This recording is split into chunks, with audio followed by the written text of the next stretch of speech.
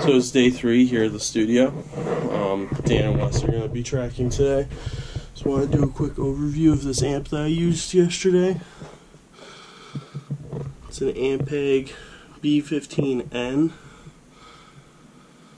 Very old school classic amp. I believe that I only used the channel 1. Which you can kind of see the settings here of what that was at our producer took my signal with this mic right here actually out of this 15 the Ampeg. Took a, a little bit more of a clean signal from that and then he actually mixed it with a signal coming from my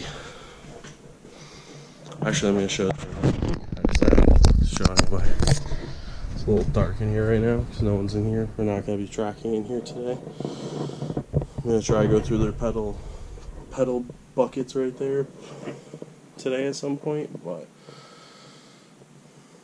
this is Studio One where we were recording the drums and the bass. And so like I was saying, Frank Frank Bones, our producer, recorded my signal coming out of that B, the Ampeg B15, and he cut it with my DI, the DI coming out of my dark glass pedal. Just to show you some of the levels that he had set right here. I think that these two knobs right here got moved at one point after we were done recording. But for the most part, we were actually having the distortion engaged so that it was working as a really nice drive, helping bump some of the mids for that 15. And my ripper was being run in parallel. So it was giving a lot of top end, not quite as much low end, I guess. I kind of like running it in parallel personally because it does give a little bit more of a trebly sound, and that way I can dial in as much bass as I want and not have to fight against that. So currently, whenever I play live, whenever we're practicing in the band room, what I actually tend to use is a combo of an SWR Son of Bertha, which is a 15 with a horn, and a SWR Goliath Jr. I believe I have the Goliath 3.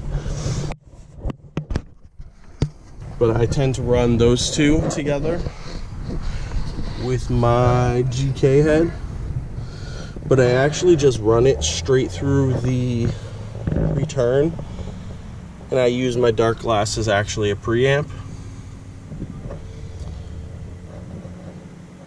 We tried doing this last night, but my head was giving some noise and my horns were giving some noise that was just unable to work with for record quality. So that's why we actually switched over to the Ampeg and we were running through that. But the sound that came out was really, really, really, really great, actually. And the way that he mixed it was absolutely perfect. Um, best way I could describe the sound of it would probably be Steve Harris when he plays live. Really interesting and like it took me a while to come up with what the sound actually reminded me of and especially because I never even mentioned that I'm a fan of Iron Maiden, Steve Harris, that I want that type of tone. It was really cool he actually got that and captured that, and that's what's going to be going on this new EP. So, just want to do a quick overview, quick rundown. Like I said, it's actually day three, so we're going to be focusing a lot more on Wes and Dan today. Eric and I are pretty much done and we're gonna be filming. We're gonna be hanging out. It's gonna be a nice couple of days. So we got a lot more content coming out for you guys. See you soon. Bye.